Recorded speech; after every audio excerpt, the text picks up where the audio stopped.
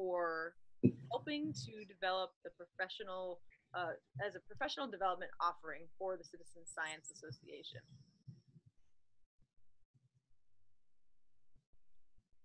I want to bring your attention to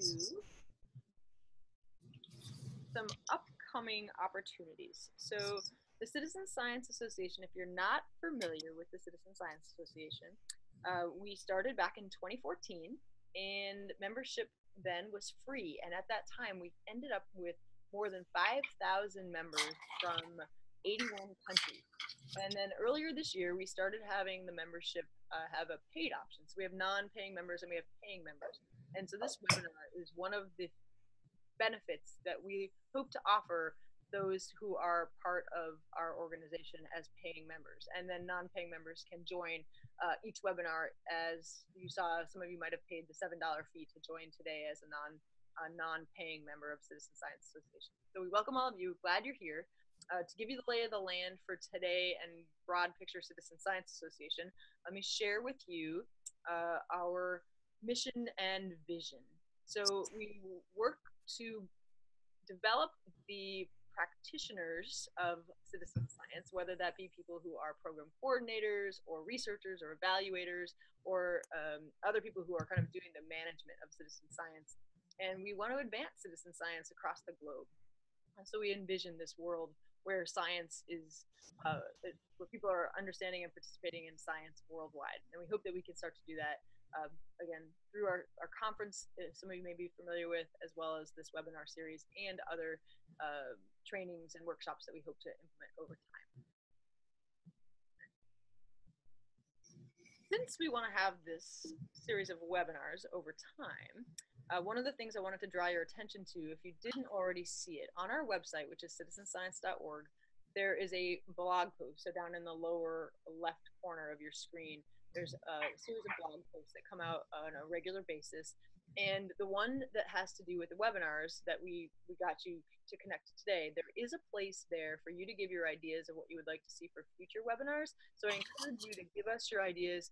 Uh, and we want to have uh, one a month is the goal uh, over time. Uh, we'll share with you at the end of the, the webinar what we have in store for December. Some of the webinars will be for non-paying or paying members where and will be free for everyone and others will be like today where there's a, a charge. So next month's will be one that's free for all. So what we want to do today is we want to have 45 minutes or so uh, with our presenter, who I will introduce in a minute, and then allow you time to ask questions and have those questions answered. So we have muted everyone to try to minimize disturbance for the presenter for Julie. And what we're going to use is the Q&A feature of this Zoom system. So you'll see uh, on my screen, it's at the top of the screen, it's a Q&A. Uh, and you can enter your questions in there and then we'll, Julie and I will work to address those at the end of her presentation. We wanted to ask you one poll question before we get started. And I'm going to launch the poll so you can should be able to see this. And I'm going to check with Julie. Can you see it?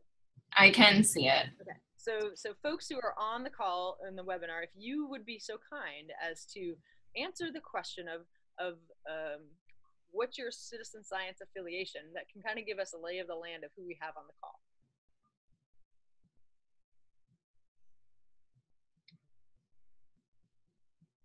Chris, do you want to work on the host element? I will do that. Okay. I'm not sure if I can actually do it while I'm sharing this. Oh, okay, cool. I may have to do it right after right after I'm done sharing the screen.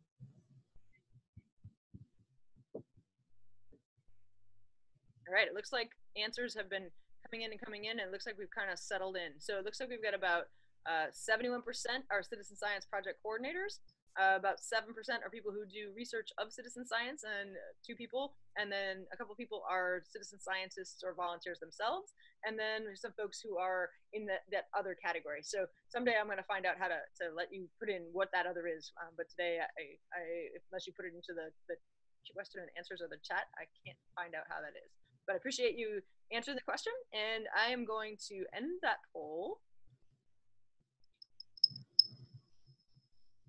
sharing the results. and then I will stop sharing. All right, so I am going to turn this over to Julie. So Julie, do you want to pull that? Sure. All right, and I'm going to work on our next.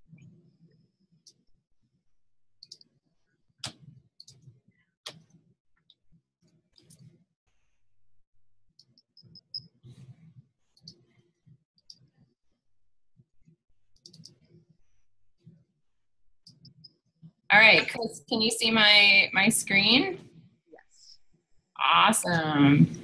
Okay, well, uh, thank you all so much for joining today's webinar on volunteer engagement and retention. I'm Julie Vastine, as Chris mentioned, uh, and I'm the director of the Alliance for Aquatic Resource Monitoring, or ALLARM, which is housed in Dickinson College in Carlisle, Pennsylvania. So it's super exciting to be a part of the inaugural webinar series for the Citizen Science Association.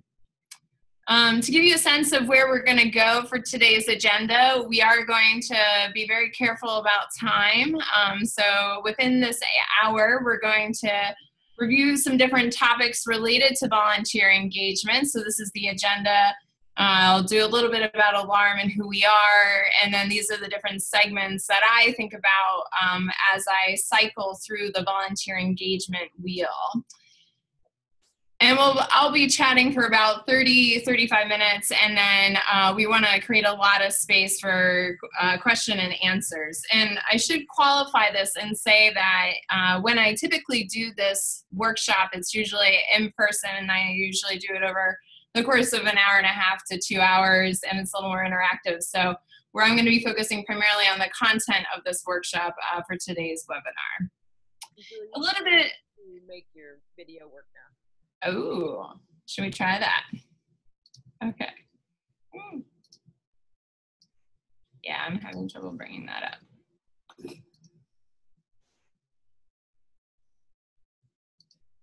Yeah, I'm not sure if I'm going to be able to bring that up while sharing my screen. No worries. Okay. All right. There we go. Okay, so now you guys can see I'm in one of our student offices. Okay, so a little bit about the Alliance for Aquatic Resource Monitoring. Um, so we are a program housed in Dickinson College in Pennsylvania. Um, we are a combination of full-time staff, a part-time, uh, our founder, Dr. Candie Wilderman, is our part-time science advisor, and then we also employ uh, 12 to 16 Dickinson College students uh, throughout the school year. Um, and I always like to point out, just like a lot of programs across the country that do community based science work, we are 40% supported by the college, but just like the rest of you, we also uh, go after grant dollars as well. And so we're 60% supported by uh, grants. Um, our goal as an organization, we work with volunteer monitors. So we're in that aquatic branch of citizen science. Water quality data um, is the emphasis of our programs. And so our mission as an organization is to empower communities with scientific tools to monitor, protect, and restore uh, Pennsylvania waterways. Um, and primarily that happens by working with folks in collecting water quality data. Um, for those of you who are international uh, on the line, I went on ahead and then helped identify where Pennsylvania is in the United States. So we'll see you over there on the mid Atlantic part of the country. Um, this is a map of ALLARM's work over our 31 year history. And throughout our 31 years, of operating, we have had uh, experiences with the three different types of citizen science models. And so on this map, if you see where the blue dots are, uh, that represents our acid rain monitoring program that was more of a contributory model uh, where we as an organization at the time our name was alliance for acid rain monitoring we set the research agenda the question and our community partners, our volunteers, collected water quality data on pH and alkalinity, and then they submitted the data to us uh, for use. And so those data were used to help inform Pennsylvania Acid Deposition Control Acts. Um, Pennsylvania has very acidic rain. Um, one of the things we found as we were doing our acid rain monitoring program is a lot of our volunteers had questions about their water quality that grew outside of um, acid rain. And so um, we shifted our operational approach in 1996 to work with communities from the ground up in a co-created model where the community partner defines the research agenda, develops their monitoring program, um, collects the water quality data, analyzes the data, and does data interpretation and data communication. And ALLARM's role is a service provider. We provide mentoring at each stage and step of the scientific process. So on the map, when you look at this, those areas in green represent the small watersheds, uh, drainage areas for streams, um, where we've worked with communities using that co-created model. Uh, the yellow on the screen um, represents areas where we have done shale gas monitoring workshops, and the pink dots represent sites where volunteers are collecting water quality data where shale gas extraction or fracking has occurred um, in the state. And I'll talk a little bit about that as a case study in today's webinar. But throughout these different operational models, uh, we've had very diverse experiences working with volunteers and engaging with folks around volunteer engagement and recruitment and retention. And so some of those lessons learned I'll be sharing today. Um, as an organization, the primary areas where we provide support to communities is along those water quality monitoring lines. But in the lay of the land of Pennsylvania, we have over 500 community based organizations um, that engage water quality issues, and the average budget of those organizations is less than $3,000. So a lot of these community based organizations are 100% volunteer. And so when they're connected with a service provider or someone who's providing them with different types of assistance, they tend to ask you for support that is outside of like your specific realm. And so one of the things that we saw as an organization, especially in the early 2000s through today, is that a lot of our community based partners needed assistance, um, programmatic assistance on topics like strategic planning, volunteer recruitment and retention, as well as fundraising. And so that's where uh, our motivation with coming up with these resources came from. Um, and I won't spend too much time on this, but you know, as we know, and with working with volunteers, you're going to have a natural ebb and flow. And you know, a lot of times with our community partners, there's either a question or a concern in the community that brings people together uh, to engage in water quality monitoring efforts and then as they resolve that issue or you know the issue has gone away um, then you see that ebb and flow of a dip in activity and that's often at the point where a community partner will reach out to us and say hey we need support around strategic planning and volunteer recruitment and retention so, um, one of the things I want to ask everyone to be thinking about um, with this slide is looking at your own citizen science project. Think about how you operated, and you know, is it a new project? Is it a sustained project? Is it something that's been around for a couple of decades? And I want you to ask yourself: Do you have a strategic plan organizationally? Do you have a uh, an operation plan that you check in on on an annual basis. Um, and within that annual work plan, where is the role of volunteers fitting into that? Is there a specific area within your annual work plan that specifically focuses on the role of volunteer recruitment and management? The other question I have for y'all is to be considering your annual budget. And when you look at your annual budget, where does volunteer management um, fit into that? Does that fit in with a, a, line item with supplies? Does it fit in with staff time? Um, but right from the beginning of thinking through volunteer recruitment and engagement, um, these are some things that I think are really good to be considering organizationally is coming back to those building blocks of clear planning and figuring out where the role of volunteers intersect with your organization's mission or your project goals. Transitioning from there into volunteer planning. Um, so once you've established that strategic plan and your annual work plan, um, that helps to establish that clear vision for how volunteers help you achieve your organizational goals. The other thing that's really important in your annual planning process is to make sure that the, your organization has that buy-in. You see the purpose of volunteers, you see the role of your citizen scientists, and everyone, you know, has a shared value about the meaning of volunteers and the role they play in achieving your organization or your project mission. The other thing in your volunteer planning uh, that you have to consider, as I've already talked about, is making sure you have the resources to fully support your volunteers. That means the budget dollars for equipment and staff time for folks to do volunteer coordination, um, to thinking through professional development opportunities and things like that. So, in your annual work plan process and you're planning out the role of volunteers in helping to achieve your mission, these are three things that I like for folks to consider.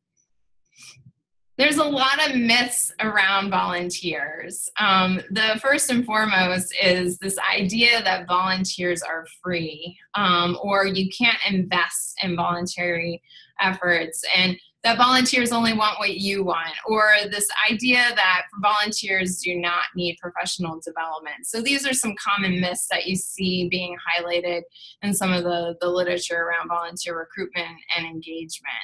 Um, the thing I really want to highlight is volunteers are cost effective, but they are not cost free. Um, we see this time again with our community partners when they're thinking about the role of volunteers and be like, oh, well, volunteers can, you know, develop our website and, you know, do the fundraising for the organization and, and you know, do the monitoring activities and the restoration activities. And while that's true, volunteers can play a role with that. Um, it's important to make sure that you have the infrastructure to support your volunteers with every project that they are tackling. And so, again, um, this is something that uh, a lot of folks in our field are constantly talking about is the fact that volunteers are cost effective but not cost free. Um, so when you're thinking through your volunteer planning, there's again the things that you need to have in place. First is that strategic plan having that volunteer work plan, making sure that you have a volunteer manager slash coordinator. Um, commonly, when I do this workshop at conferences and things like that or regional areas, it's the number one thing that people don't have as a volunteer coordinator. Is there someone on your staff within your community based science team that is devoted to working with your volunteers? If you do not have that in place, that is something I would strongly encourage to be your takeaway from today's webinar is to create the space for that role within your organization. And last but certainly not least, making sure that you have that volunteer budget, uh, that budget in place to support your volunteers there's a couple of really fantastic resources out there. One of my favorite guides is the guide that I have on the screen right now, which is the Strategic Volunteer Engagement, a guide for nonprofit and public sector leaders um, this is the RGK Center. Um, so I have the link at the bottom for where you can find the PDF of this.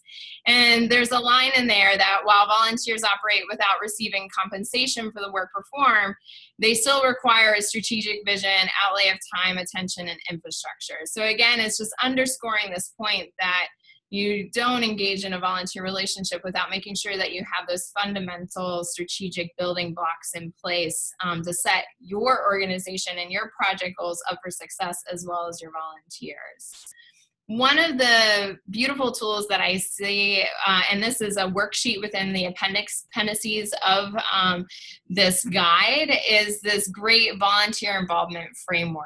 Um, and uh, just to spend a little bit of time on this, I think when you're setting out and you're designing your community-based science project or another project um, within your organization that uses volunteers, this is a great way to be thinking about things. Um, so Along the side, you see your time for service. Is it short term? Is it episodic or long term?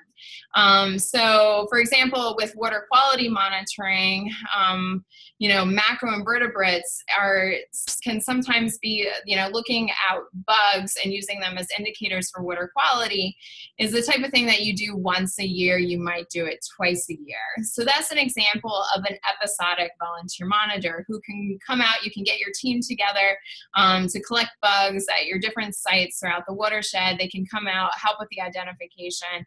Um, and that might be the only type of monitoring they help out with with the organization. Um, long-term volunteers for example with the way how we operate would be like our chemical monitoring volunteers like those folks that are doing monitoring on a monthly basis or in some of our programs a weekly basis and with that you really need and you look for volunteers that are willing to collaborate with your organization for a long period of time um, to get that year's worth of data or two years worth of data um, at a particular site based on what you're monitoring question is. Um, so that's an example, episodic or long term. Another thing that's really common in the watershed field are like the volunteers that come out for tree planting and restoration events versus folks that um, you know do things like chemical monitoring and things like that, episodic versus long term. Um, the other type of volunteer that you can have is the connection to service, which is going across the top here. Sometimes folks, when you look at their motivation, they are motivated um, based on the affiliation. It's a cause they believe in. It's an organization they believe in. And as a result, they want to show up and be a part of that. Um, the other side that you see are folks that have specific skills um, that they're looking to put to use in their community. Um, so we've seen some examples like with this um, with our watershed associations, like those folks that are like, hey, I love building websites, let me build your website for you. But they don't necessarily have that like connection to what the, the organizational mission is or um, perhaps you know for folks that have done tree plantings when you do tree plantings you have to do a lot of mowing. And so you might have someone who um, has a you know a tractor or mower and is willing to you know offer that skill to the community partner. But again it doesn't necessarily um, they're not necessarily motivated to be attached because of the affiliation to the organization. Um, and one of the things that the guide talks about is that you know these aren't exclusive categories. You can have a volunteer volunteer intersect with an organization in one box um, here within the volunteer involvement framework and you can see them go around and engage with all the boxes two of the boxes um, and so forth. So it doesn't mean that just one volunteer that a volunteer only fits into one box over their period of volunteering um, some other things to be thinking about with your volunteer engagement strategy is thinking about ways to have your volunteers have access to diverse experiences. Um, so perhaps you know you know they're connected with like the Cornell Lab of Ornithology, and they have all those sorts of different types of projects that um, folks can uh, interface with with their Nest Watch or um, the Project Feeder Watch and things like that. So there's different ways that you can engage folks in your in your projects. Um, another thing to be thinking about is not just diversity of options and engagement, but also thinking about that layer of involvement within the organization. Maybe you get someone hooked, um, you know, coming out to a single macroinvertebrate identification workshop, but maybe they later become the volunteer that is spearheading a tree planting, or maybe they're a volunteer that eventually becomes a chemical monitor. Um, but you know, make sure that there's different, and maybe three years down the road, they become the volunteer coordinator or the equipment manager. Um, so it's important when you're thinking through your volunteer engagement that you have different layers at which a volunteer can interface with your community-based science project. And again, thinking through short-term and long-term um, opportunities, because sometimes folks like folks participating in the diverse projects offered by Zooniverse, maybe they have 30 minutes over their lunch break where they can contribute to identifying animals in the you know uh, in Africa or you know identifying galaxies and things like that. Or you might have volunteers that are willing and able to um, commit you know 10 hours a month to a cause or data collection and things like that. So thinking through short-term and long-term opportunities um, again, you know, just think when you're thinking about those short term versus long term volunteers, you know, it's an equal amount of investment.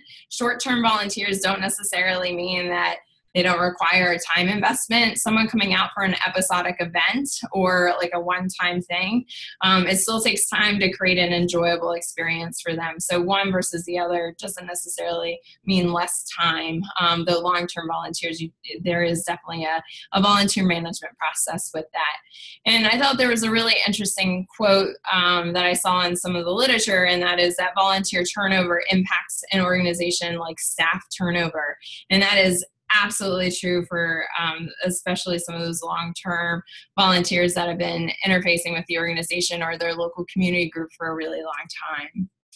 Um, at the end, if I have time for case studies, I'll, I'll share that. Um, but we've definitely had lots of lessons learned through our different uh, volunteer monitoring programs, but I'll save that for the end if there's time for that. Um, getting into volunteer recruitment, um, there's a couple of, of important tools to be thinking out. So, so we've already talked about volunteer planning, the role of creating that strategic plan and your work plan and where do volunteers fit in. Uh, something that comes out of that is coming up with your different job descriptions for your volunteers um, so that folks know what it is they're getting into. So for example, for our fracking monitoring program, we have a job description. It's like, you know, six bullet points. And in there we have things like, you know, we expect you to, it's expected that you go out in all weather.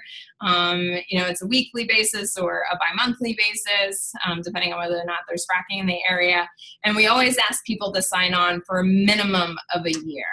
Um, and then at that year point, give them the opportunity um, to, uh, you know, re-up.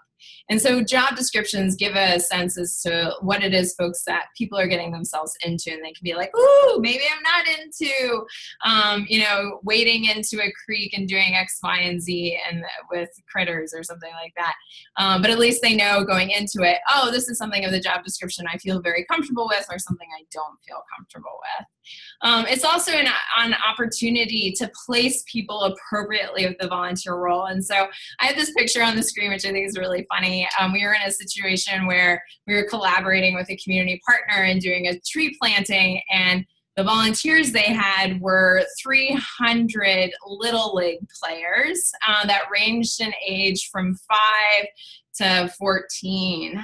And um, in this picture, like the five year olds, thank goodness they weren't volunteering for very long because to actually get the task done, um, they were a lot of fun, a lot of great pictures and photo ops. But when it actually came to like getting trees in the ground, we had to match uh, more. Some of the older baseball players uh, did that a little bit better um, than our five year olds, but it was still a lot of fun regardless. So, again, thinking through the appropriate placement of volunteers within your program.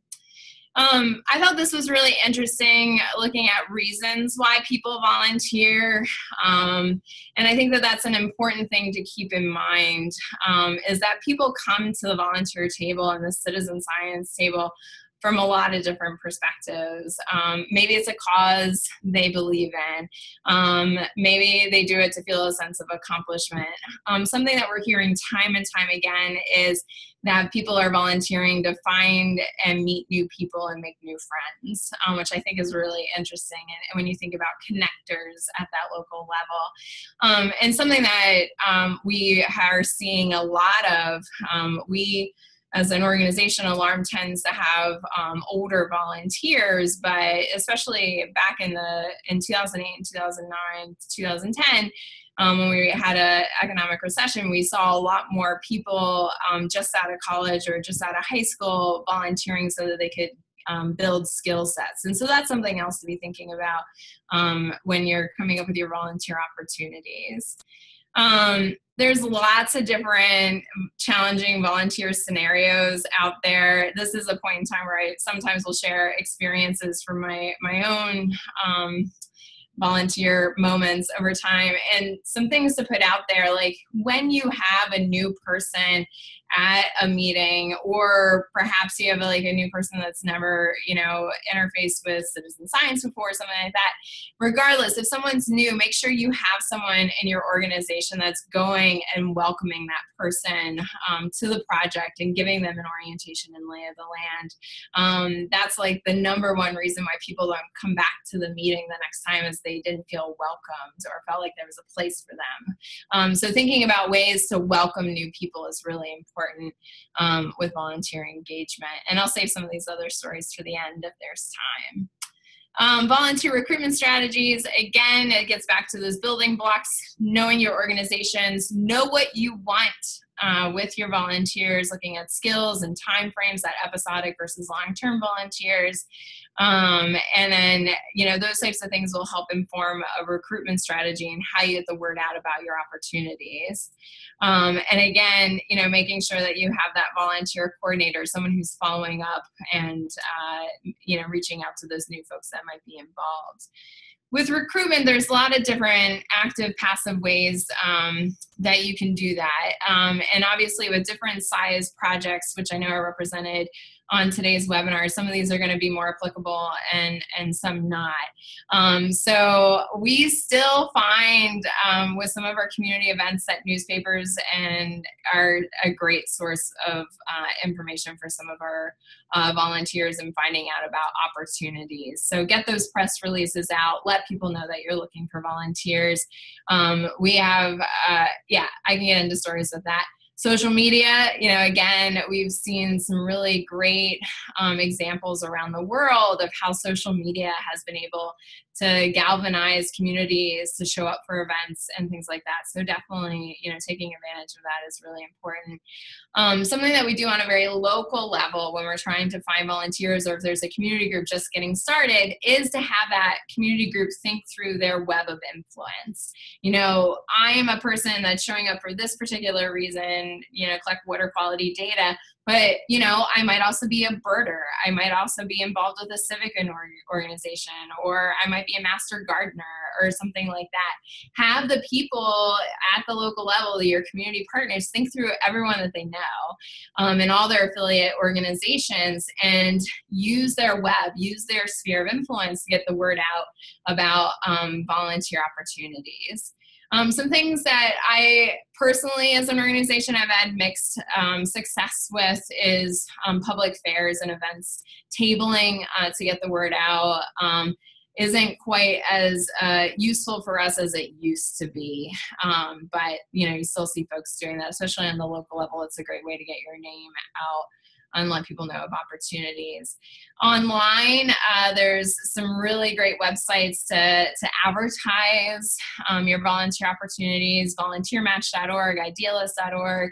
Um, one that I came across recently, points of, of, of light.org.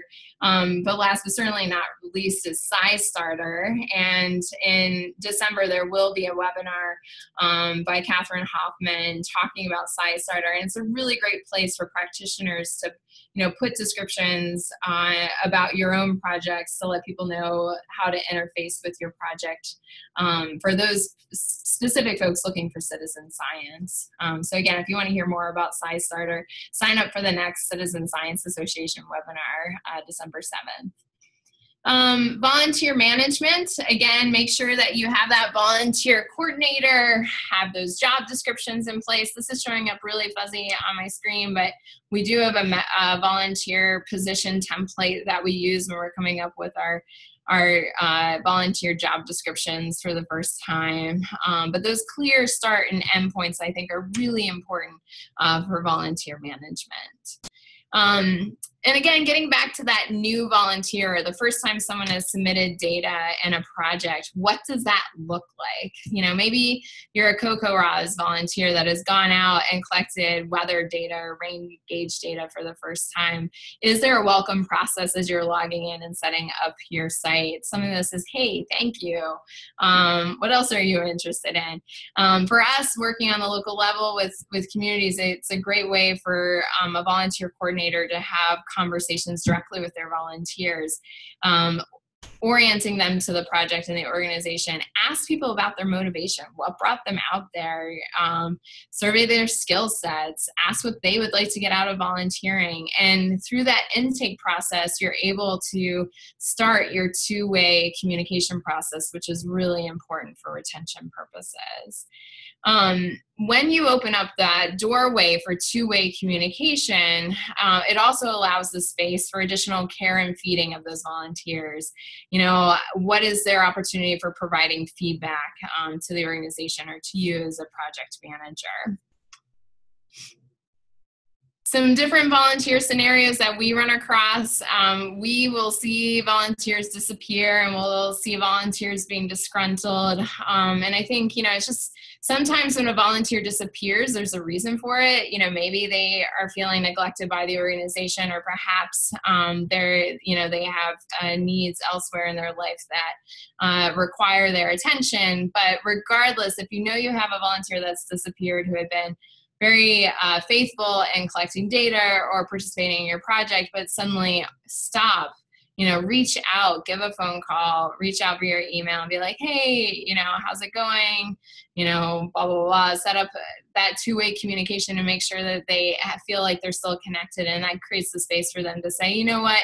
oh, I broke my leg and I can't get out to the stream for a couple of months, but I plan to get back involved in a couple a month once I've healed, or um, someone might be like, "Hey, I've got like you know a sick relative, and I need to take the time to focus on on the family part of my life."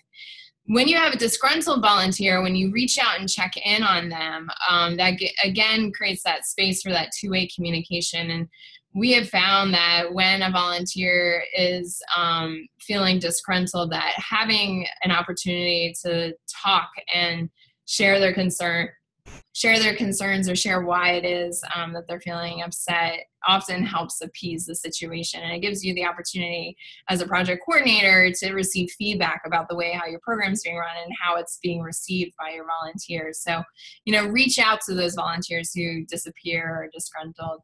Um, one of the things i keep finding in the literature is this whole question of like can you fire a volunteer? And you know i think there's also something to be said for being like hey maybe the volunteer is not the right person for your organization or maybe not the right person for that aspect of your project. Um, as a water quality monitoring organization, we have our volunteers go through a quality assurance process to make sure that they're using their equipment correctly.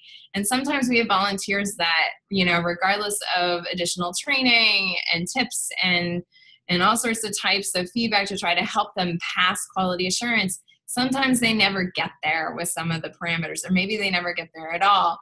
And so instead of you know so for some of our volunteers we might drop off a couple of parameters that they won't that they don't monitor so they can focus on the ones that feel really comfortable to them or you know maybe that's a great volunteer to help with data entry or help with a different aspect of your program. Um, so if data collection isn't the role that they play maybe there's another place within the organization where you can match their skills in with your needs. Um, so putting that out there. Um, so again, just like with any project, you want to make sure that you're assessing your volunteers and also assessing the impact that your volunteers are making as a part of the project. Um, volunteers like to hear that. How do they connect to the mission of your project?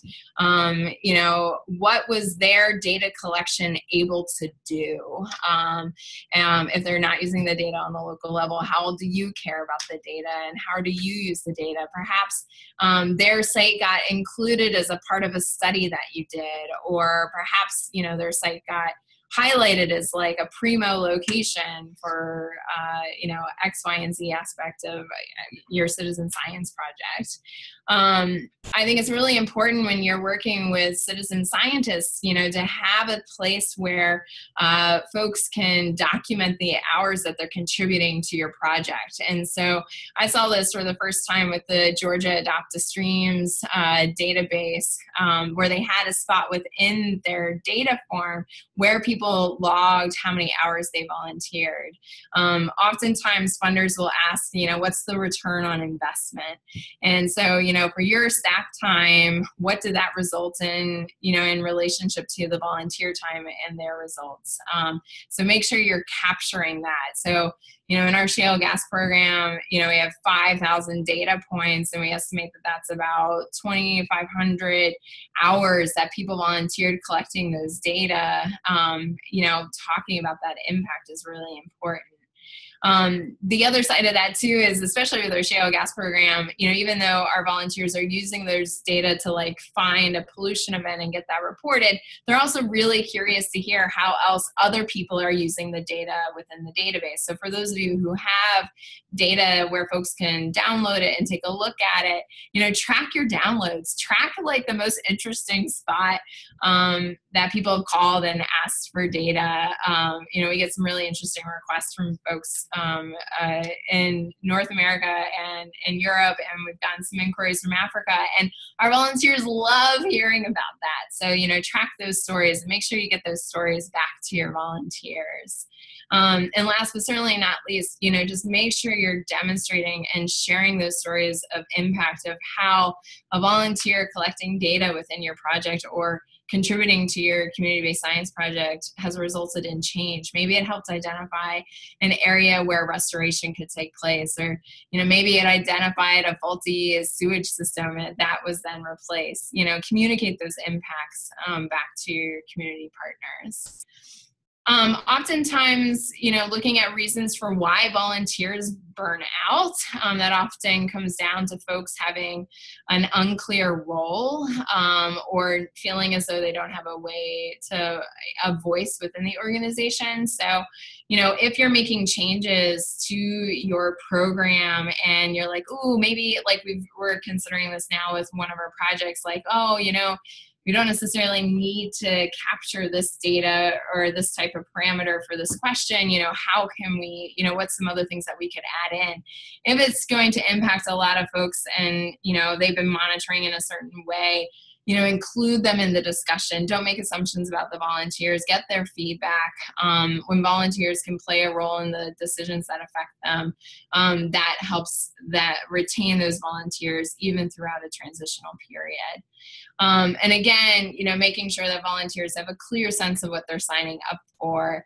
Um, you know, if you say that, you know, doing this particular project will take eight hours in a particular weekend once a month, you know, make sure it doesn't take more than that. Or if you say something's going to take 30 minutes once a week, you know, again, make sure that it doesn't take more than that um, so that your job description matches what their experience is. Um, again, looking at uh, volunteer retention, there's some fun resources out of the Corporation for National and Community Service. Um, in this uh, uh, article that they have, they say one out of three volunteers who participate one year do not continue the next. Which actually, if you flip that around, that's you know two thirds of people who volunteer continue the next year, which I think is really exciting and really cool. Um, but they have some fun stats um, within uh, some of their documents. Um, one of them is looking at retention and looking at volunteer hours.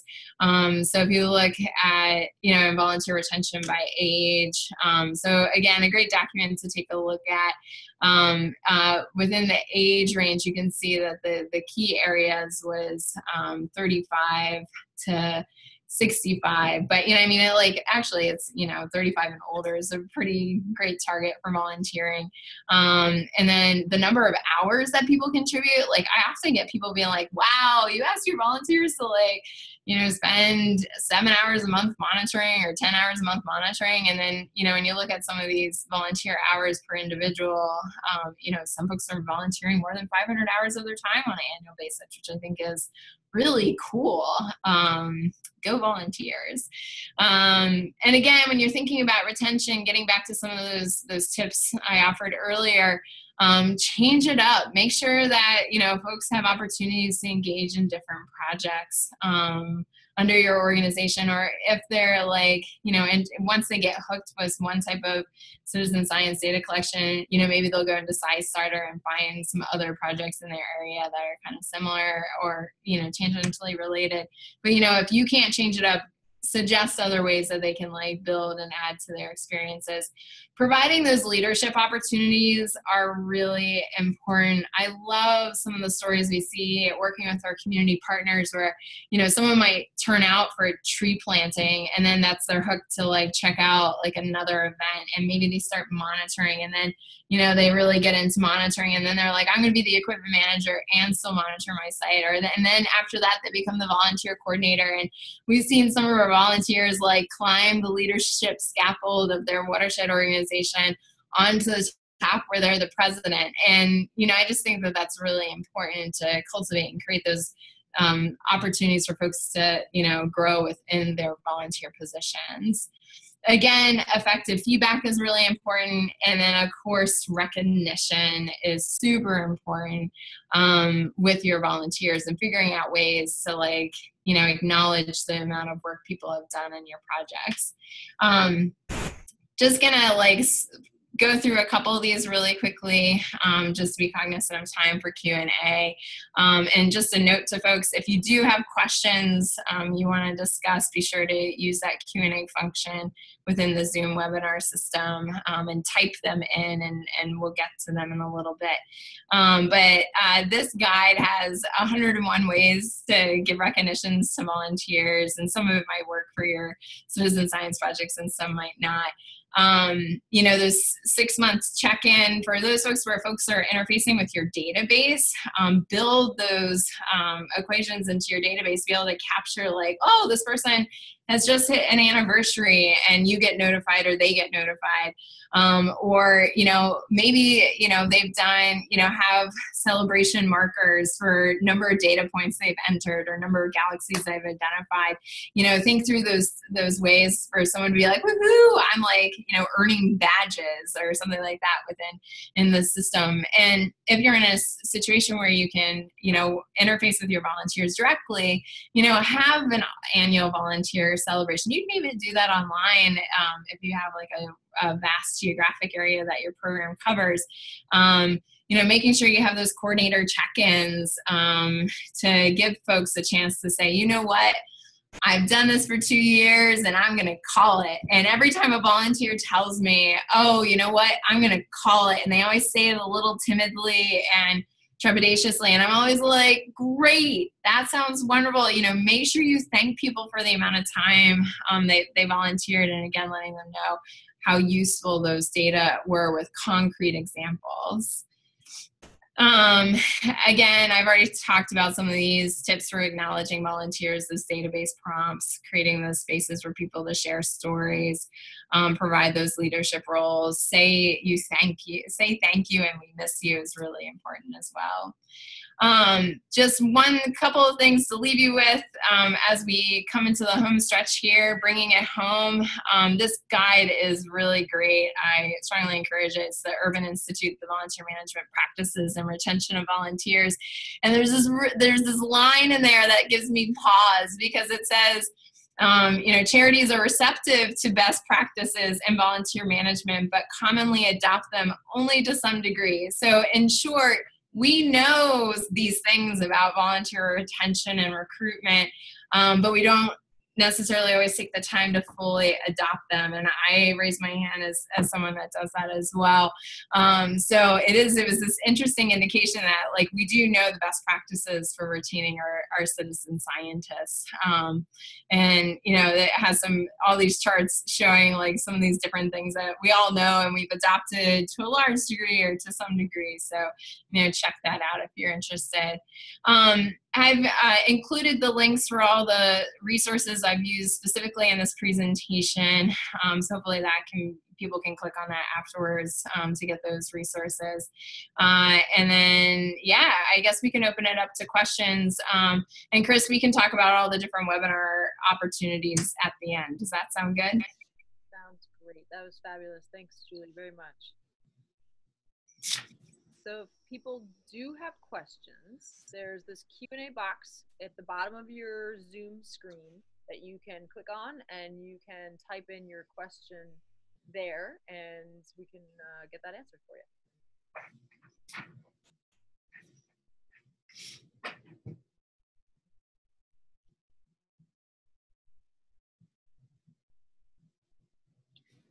Do you have any questions, Chris? I was going to comment on the fact that I think that there's value in this. I was thinking about it in terms of our association and uh, our board and our working groups and making sure that we say thank you. So if there's any uh, working group members or board members on the call, thank you for your time, and uh, we will be working to get some some great new uh, connections for for everyone to be part of of those.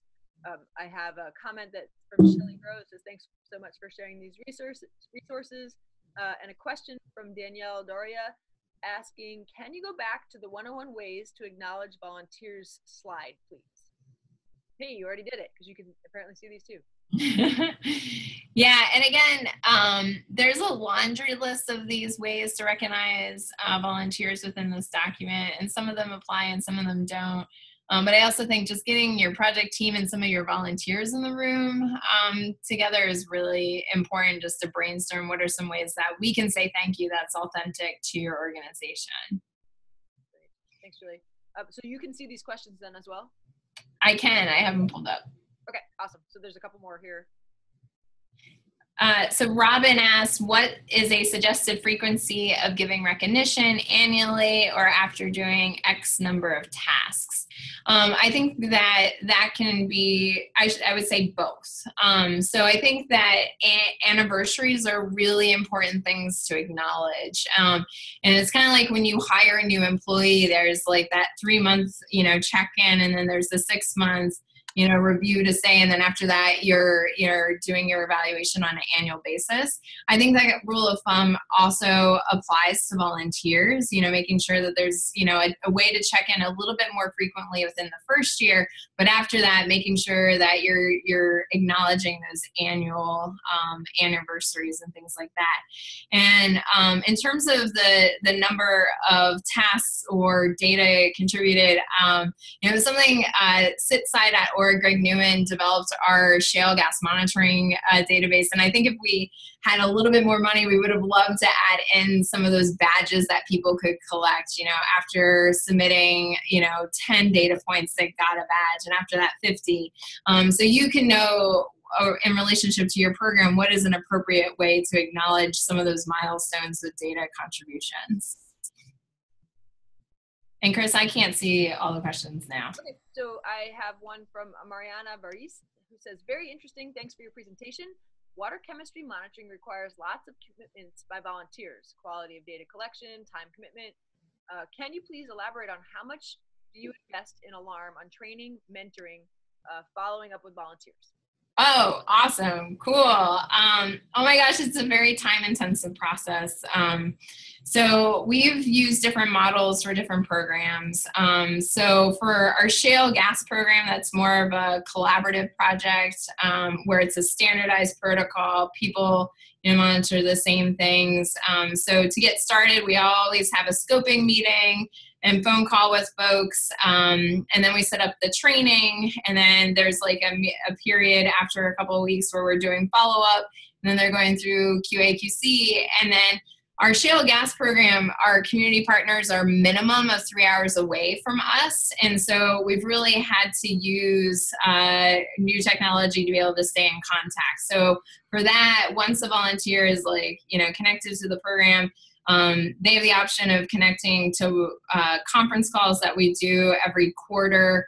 Um, and then we have a volunteer, someone who manages that project, and they spend about a day and a half a week um, working with our shale gas volunteers and as a part of that, we tried to do one to two in person visits to those um, volunteers throughout the program. So that, that gives you a sense of that. So uh, for that program, we have 125 volunteers, give or take. Um, and, you know, it's about a day and a half of uh, of time for our staff to to work with them. Um, but we try to give as many options for people to interface with the organization as possible. Thanks. And then there's another question from AES. Has have you done any work looking at how these badges or other awards impact or not impact broader participant outcomes, such as science literacy, knowledge of the system, support of science, etc.? Um, I have not. I think that there's a lot of great researcher, researchers and um, fantastic people within our field that evaluate these types of things. Um, you know, I don't haven't done any substantial studies that have said yes, our volunteers have responded really well to receiving their certificates annually when they go through QAQC and stuff like that. Uh, we more do things word of mouth. Um, and then the other thing I didn't mention before is um, you know, having surveys for our volunteers to fill out so there is a feedback loop if they haven't come to meetings or something like that. It gives them a chance to, you know, give us feedback as to whether or not something feels good or not good within um, one of our monitoring programs. But that question sounds like a, a great, you know, question to explore through an NSF proposal, or perhaps someone out there already has um, looked at these types of things. Julie. Does anybody else have questions? We have none queued up. So if anybody has any burning questions, we got about five minutes left on the webinar and we're happy to, to get those up. Uh, I've got one here. So from Chelsea DeMarco, um, a graduate, graduate student uh, that just had a pilot season citizen science project. It was quite disorganized and many people were trained but did not participate. I'm not allowed, that's in quotes, uh, to survey the people who did not participate to ask why, but I am assuming it's due to the disorganization. Since last year, we have made tons of improvement. Improvements. How do I try to recruit from the same interest group? Oh man. So I mean I think that there is a learning curve with, you know, launching a new program. And with our shale gas program, we had a lot of learning curves because we didn't have the staff to manage the demand and things like that. So I think it's really important, um, Chelsea, that you had a pilot season. And I think that even within that first year, you know, make sure as you're going through your project to let people know that it is a pilot and, you know, we're using this as an opportunity to get feedback on how to you know roll this out at a larger scale. So um, i think for folks that if you're looking to recruit from the group of folks the same group of folks and people haven't come back to other events um, you know keep them on your list but it might be the time to you know think of expanding your web um, and thinking through like i don't know if this is in a specific locale you know you know using some of those other recruitment strategies to try to get um, more people interface. But you know, if someone comes to a training event, and we did this is with a lot of our workshops where um, you know people will come for the educational experience, but they don't always translate to volunteers. So again, not to keep citing our fracking monitoring program, but through that we had close to 3000 people come to workshops. And out of it i think we had close to 250 volunteers as total. But not all those volunteers like you know have monitored for five years. They've monitored for a discrete period of time. Um, so I, I think that that's common. And so you know yes you know people who come to a workshop might be interested later on but if they don't if they continually not show up go for another pool of folks Another question from Hillary is uh, one question, uh, sorry, one reason adoption of all best practices may not happen is capacity. All of these things take time and resources. I think a lot about the trade off between energy put into recruitment versus retention. Can you speak to ALLARM's experience with that, prioritizing where to put energy if you can't do all the things? Oh, and you certainly cannot do all the things, Hillary, and that's certainly true. Um, so for us, we actually don't put as much time into recruitment, um, in part because of the model in which we work with volunteers. It's a community group, and so it's a local community partner, and so they're the folks who are going to be the connectors and know on the local basis who are the best people to be connected in with the project. So we tend to put most of our resources into the training and making sure that people have quality assured confidence within their actual monitoring. And then from there, it's keeping people engaged. Um, you know, baseline water quality monitoring can be uh, really exciting for some people, but also can get really tiresome um, for some people over time. And so, you know, thinking about, you know, different opportunities to keep people engaged. So if you have someone doing chemical monitoring on a monthly basis, you know, making sure that they have the opportunity to come to that macroinvertebrate workshop or learn a new visual assessment technique or something like that. And um, so for us, really, our time goes into retention and, you know, again, making sure that folks are collecting quality assured data. And Chris, if you have other stuff to add to that, go for it. So. Well, we're almost out of time and there's one more question. So I think I want to ask that question so we can give um, the all the questions get answered. So the, the question here is, do you have ideas for celebrating volunteers online? My network is statewide and nearly impossible to get people together in person.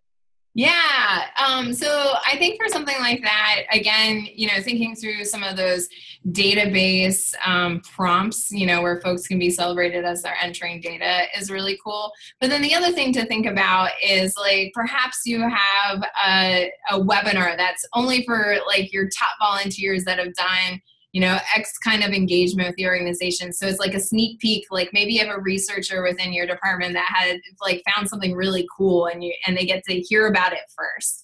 Um, I also think, you know, we are using the webinar function of Zoom, but Zoom also has that community function where everyone can be talking and you can have a meeting with a subset of people. I think keeping it to like 20 or, or less, you know, people can sign in and have a conversation um, I think there's a lot of great ways with technology today to be able to still be in the room with people um, without having to do all the traveling. Um, but yeah, I think thinking through, you know, the celebrations, those badges, those automatic prompts um, to celebrate their contribution, but also, you know, having the opportunity to sign into a webinar to hear about this new thing that you learned and discovered or you know to tell a story and, and stuff like that just an opportunity to connect conference calls i think um, with a subset of your constituency is also a really great tool just to get people on the horn and, and chat with each other and hear about each other's experiences those are all great. The one thing that I would add is people love to see their names in print. So if you have an electronic newsletter or if you tweet or Facebook,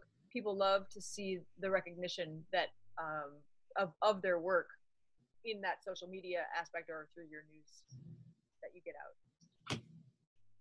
So thank you, thank you, Julie, the ALLARM director. Uh, uh, I really appreciate your time. It was really a fantastic set of resources. We will be, this is a recorded webinar. We'll be getting it up on our Citizen Science Association website for um, our paid members. And then after six months, the, um, the, the non-paying members, folks who paid today, if you want to get access to it, contact um, the Citizen Science Association will make sure that you have access to that.